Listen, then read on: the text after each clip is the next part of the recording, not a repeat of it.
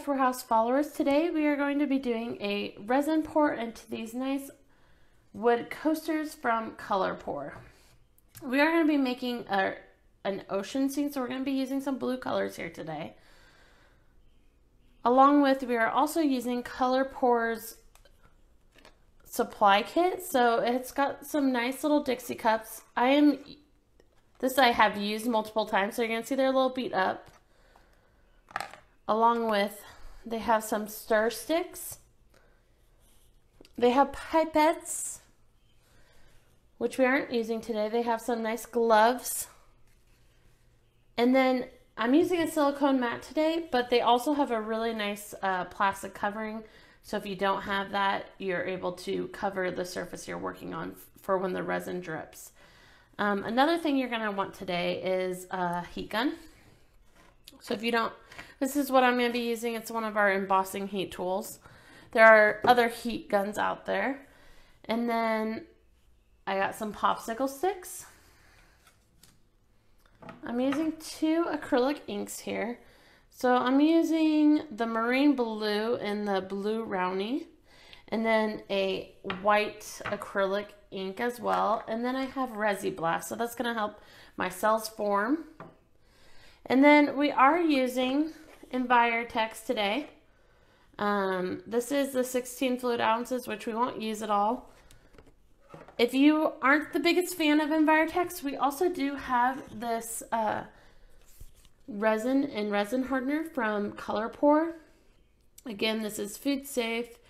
Um, it does have a little quicker dry time than the Envirotex, but if you wanted to try something new, a little bit less expensive, there's this guy. And then I'm also using this measuring cup from Envirotex. It's just really nice. It's got some good lines on there so I can make sure that I'm getting that resin in the hardener um, even because that's going to make sure my piece is fully curing properly without being sticky. Um, a couple other prep things I would kind of suggest if you have long hair, making sure you're pulling it up, wearing a mask because this can be pretty strong. Also, um, painter's tape. So I did go ahead and tape off all the bottoms of these guys, but you're going to want to make sure they're nice and taped down. I mean, you could always sand off any pieces you have, but this is going to help uh, for when we do over pour that resin and it flows. You can just peel this right off and you should have a smooth back. Now to put that on, I did just over, you over tape it so it's hanging over the edge. And then I just took an X-Acto knife and got it really nice and close up to that edge. So let's go ahead and get started. I'm to go ahead and set these guys to the side. I'm to go ahead and grab this uh, measuring cup. And I'm to go ahead and pour my resin hardener and hardener into it. I'm going to pour two ounces each, and that's going to be equal, equal parts. One thing about these bottles I'd like to point out is the white cap goes with the white font. So um, that's going to be your resin with the white font. It's going to be the black cap with the black font for your hardener. Nice thing about that is it's making sure you're not putting the cap on the wrong bottle and then you'd seal it shut. Um, so that's really handy. So let's go ahead. I'm going to pour the resin first. And again, I'm going to do two ounces and make sure I get that nice and even.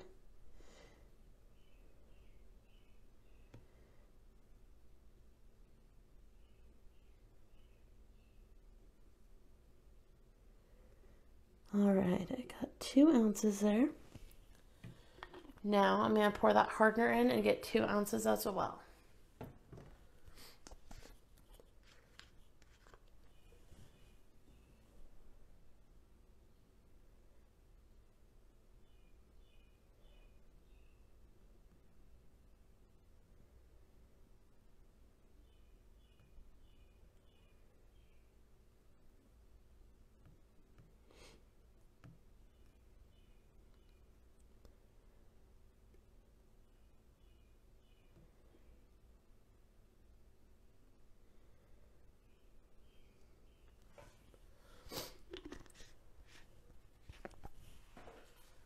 Okay, now I'm going to go ahead and take that large popsicle stick And I'm really going to mix this.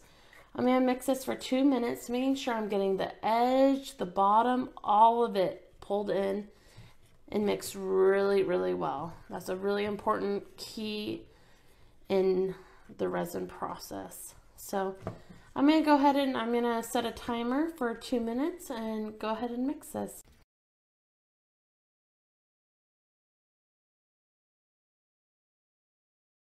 Okay, now that we got the resin nice and mixed, I'm going to go ahead and split them into my three little cups here.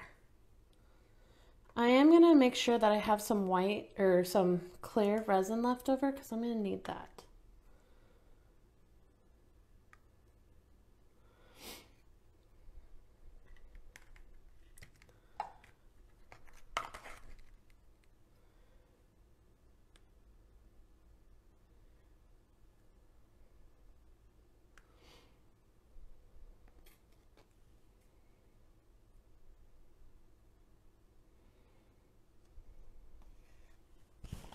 So I have these all pretty even. I do have a, I did leave a little bit more into the clear because I can always create more color if need be. So I'm going to go ahead, I'm going to drip my color into here. Go, go ahead and make sure you give these a good shake if you haven't used them. Um, they do tend to settle down in their color. And you don't want any of your ink not to be strong enough. So I'm going to go ahead and do about six drops.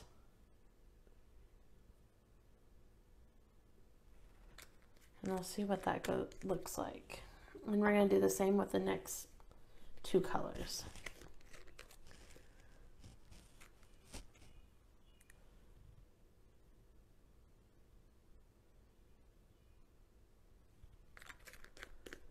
And then that white.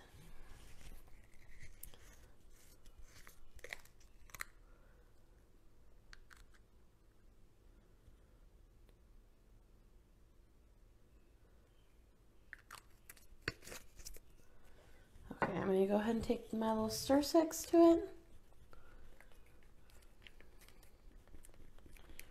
You really want to make sure you get your color really nicely mixed in there.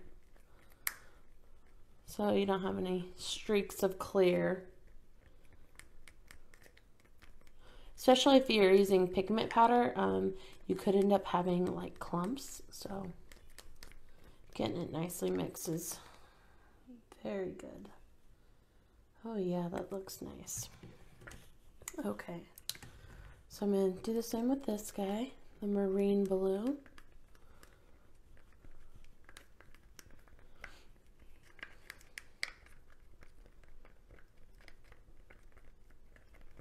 Again, just mixing away.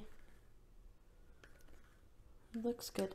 Now, if you didn't want to get this uh, color kit, you could use a Dixie cup and just some, again, popsicle sticks and mix with the popsicle sticks. Nothing wrong with that. They're disposable.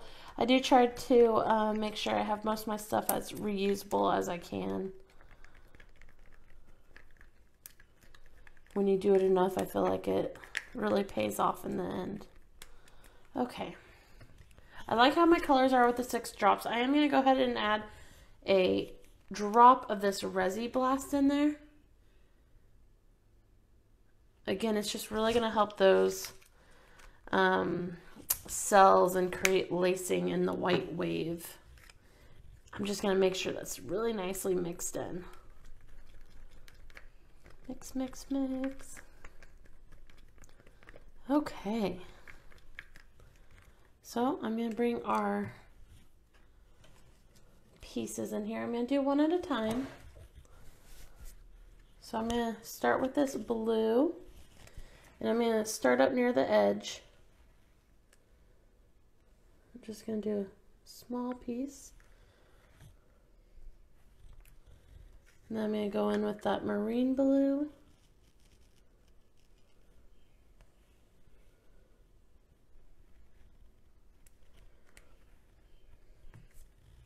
And then I'm going to come in with some clear.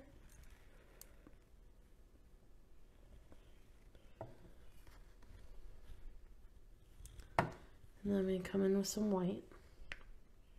And again, that white has the Resi Blast in it. I might even try to do another line of clear and then go ahead and put another thing of white. Just really as a preference. And then from here, I'm going to come in with that heat gun.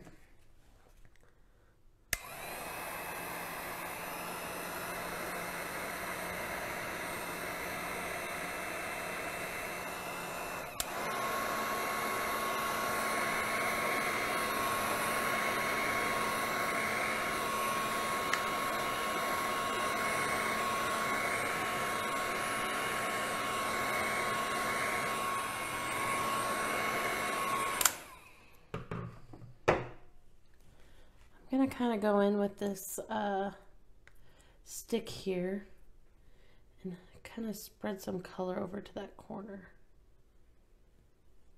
Okay. That's looking good.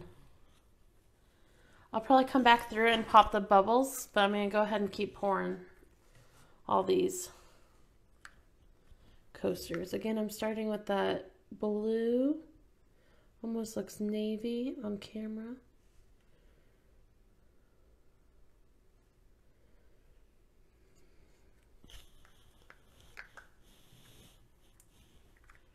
Going in with that marine blue.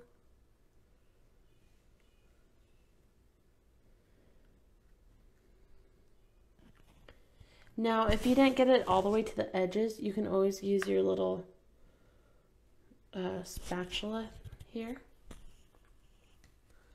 I'm going to come in with some clear.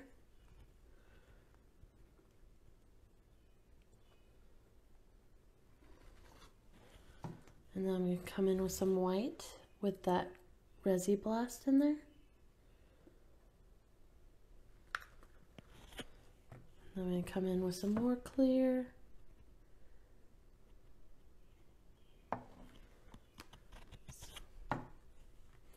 Just a little bit more white.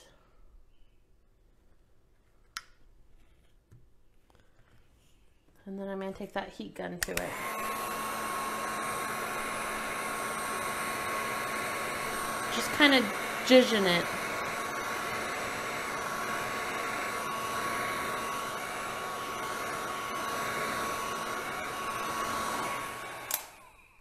then as the heat goes away, you can see the waves really start to form. I might have to kind of come back in and zhuzh it a little bit, but for right now, I like that. Uh, yeah, actually I am.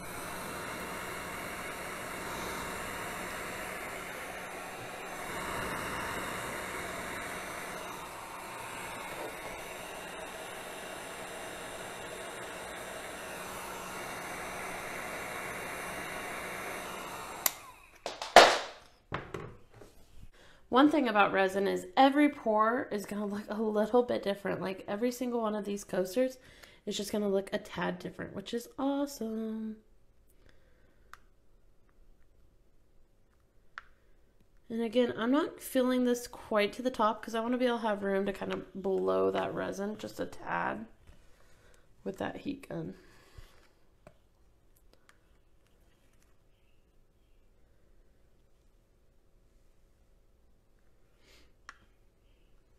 And then I'm going to come in with that clear.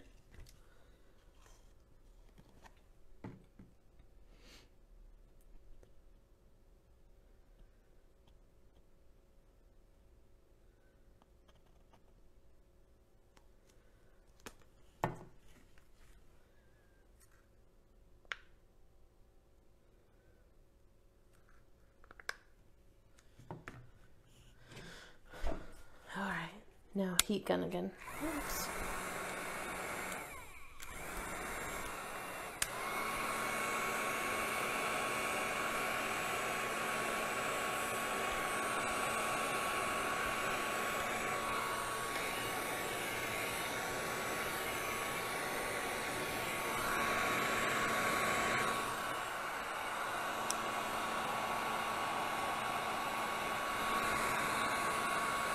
I'm going to take the heat gun to this one again.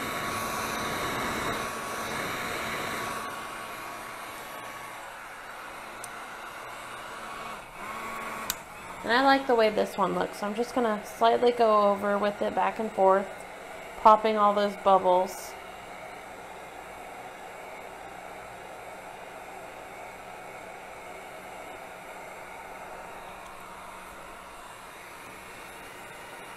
Back and forth.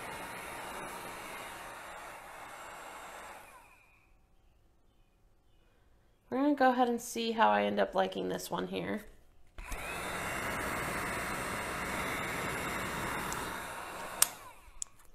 I might pour a little bit more clear into it.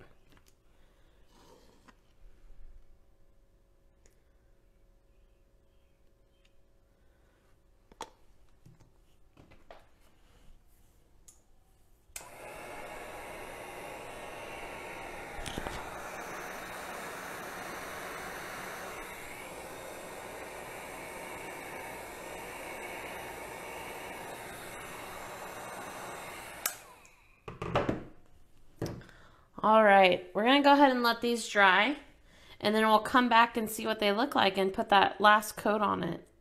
So that last coat, when we do put it on, it's gonna go ahead and drip over. Um, I do wanna point out, if you don't wanna waste your resin, I did end up having um, a little bit extra. So you don't quite need two. I'd probably do about one and a half ounces to be able to fill this up initially. All right, we're Craft Warehouse followers. So it's been 48 hours um, since I let this dry and finished up with you guys. Um, as you can see that the white with that Resi Blast really spread throughout on that clear part, getting some really beautiful lacings throughout. The best thing is with resin is none of these look alike, and I love that. Um, so they're all going to be nice and unique. And sometimes the piece that you least liked ended up being your favorite.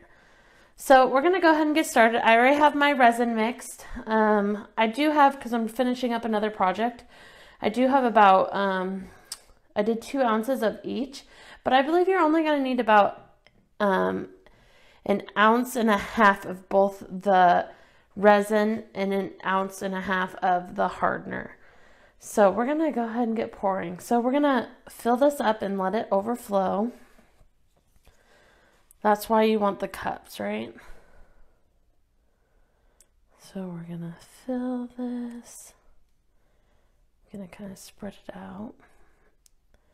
Again, remember when you're mixing the resin, equal parts. And then also, um, Sorry, I'm watching. also, you want to make sure you're mixing it for two minutes. I'm going to come in with that heat gun.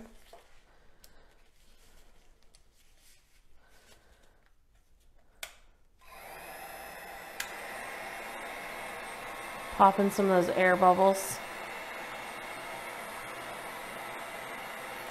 I tend to mix a little too fast, so I tend to get a little bit more air bubbles than needed in my resin.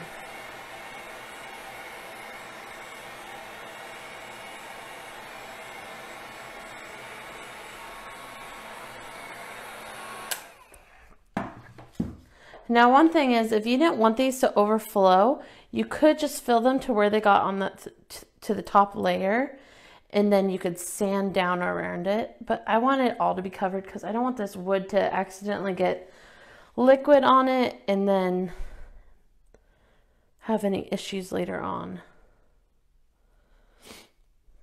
So I'm just going to go ahead spread it over to the edges, help it out a little.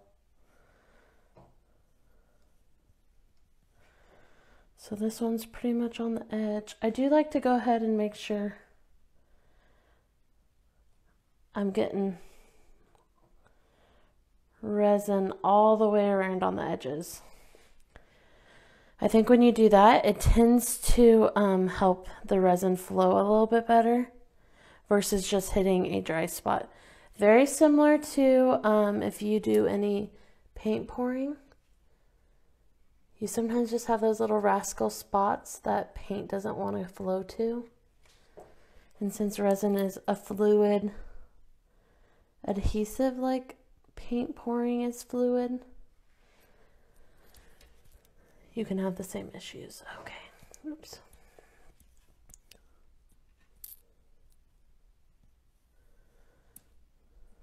Again, just helping the resin flow a little bit.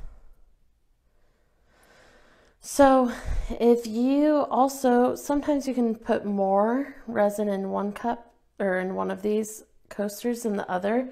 So some of these might need more or less resin. Again, you're just going to have to kind of judge it. Do what's best. Maybe you are going to need two ounces of resin here if you didn't use everything from previous.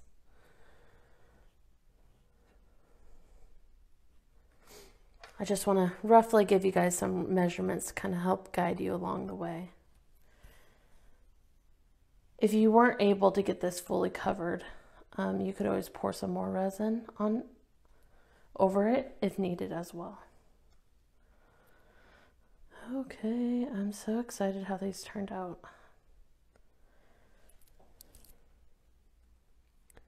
If you're anything like me, my house has those dark navy blues in it right now. So these coasters are going to be perfect. And who does not love the ocean? You might not like to get in the ocean, but you at least love the sound of the beach or the waves hitting the beach.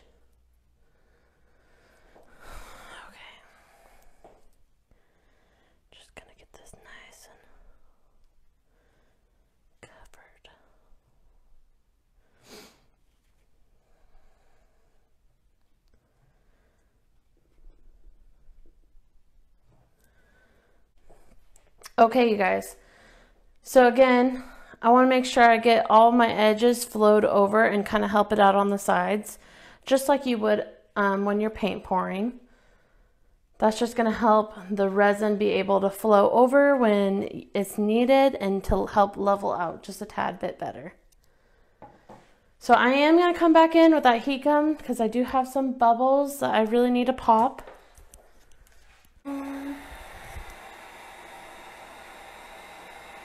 Going back and forth. The heat gun will also kind of help move the resin here in this step. So you want to be careful that you're not letting it just sit in one spot and overflow or too close that it's blowing it off.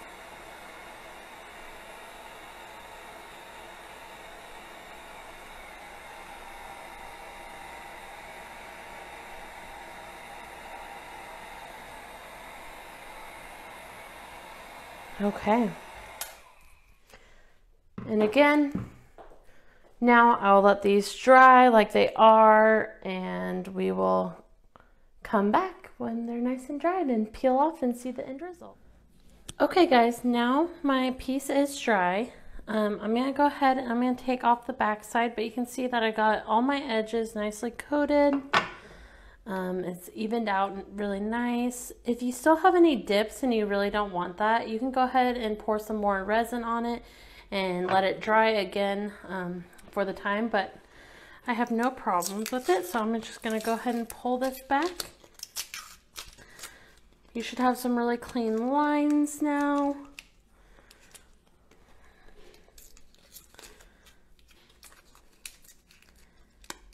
And some awesome coasters. Can get this off.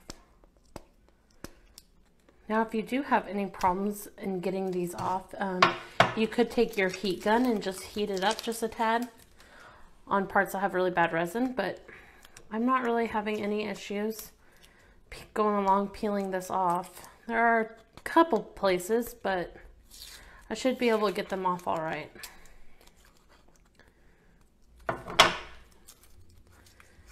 And you'll just want to do this for all three of your coasters. If you have any uneven spots in the back too, um, you can also sand it down. But if you are able to just take that, again, heat gun and just scrape off any resin that might have gotten on there, that's going to be your best bet. So that's what the back looks like. And then I have my front. I'm super excited how these look. Um, now, one thing, I do have one that I'm probably going to coat again, you can see that I didn't get that part of the wood covered and there's actually no resin um, all the way up to the top. So there's a little lip. So I probably will pour a little bit more. It looks like I probably didn't actually have it on an even surface. And that's why I have that little dip there. So just look for those. If you like them, totally rock with them and it'll be awesome. All right, you guys, thank you for joining us on making these resin ocean pours in these wooden coasters. I hope you guys have a great day and happy crafting.